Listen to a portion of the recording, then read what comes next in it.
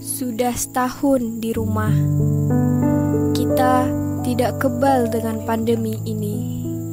Semua orang juga merasakan ketakutan yang sama, namun kita dituntut untuk lebih beradaptasi dalam situasi pandemi saat ini agar bisa kembali beraktivitas seperti biasanya.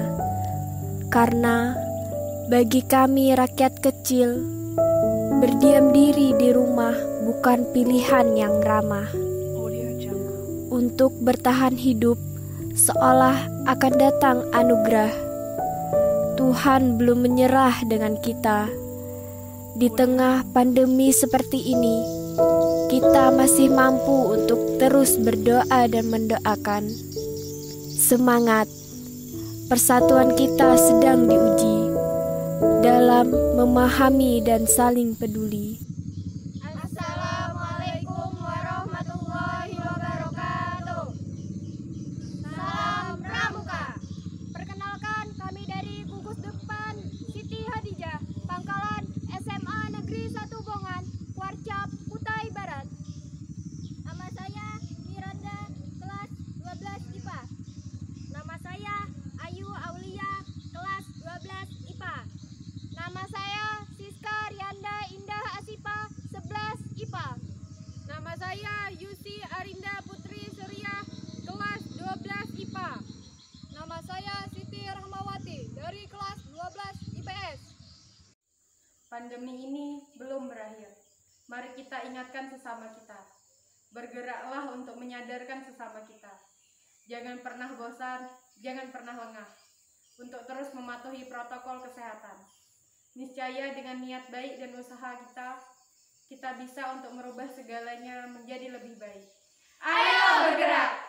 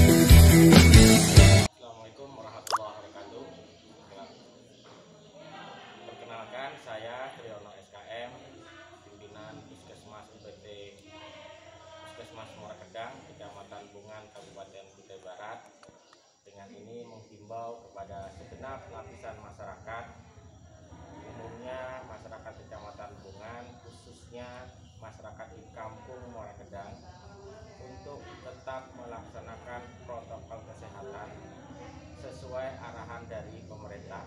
Yang pertama adalah mencuci tangan pakai sabun dengan air yang mengalir. Kedua, memakai masker. Ketiga, menjaga jarak dan yang keempat menghindari kerumunan-kerumunan. Perlu kita ketahui memang saat ini tren untuk penurunan kasus COVID-19 di Kecamatan Bungan sudah menurun. Tapi saya mengharapkan masyarakat jangan lengah terhadap protokol kesehatan yang sudah ditentukan. Yang terpenting lagi saat ini masyarakat hendaknya tetap mengikuti vaksinasi COVID-19 yang telah dilaksanakan oleh Puskesmas Morakda. Semua vaksin yang ada di Puskesmas itu adalah yang terbaik untuk diberikan kepada masyarakat.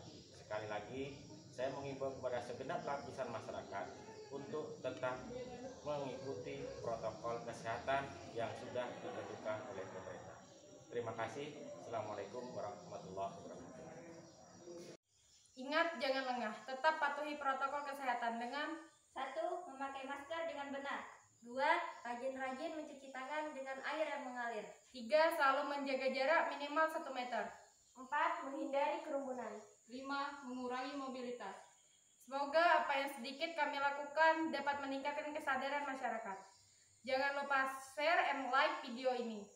Wassalamualaikum warahmatullahi wabarakatuh. Salam Pramuka.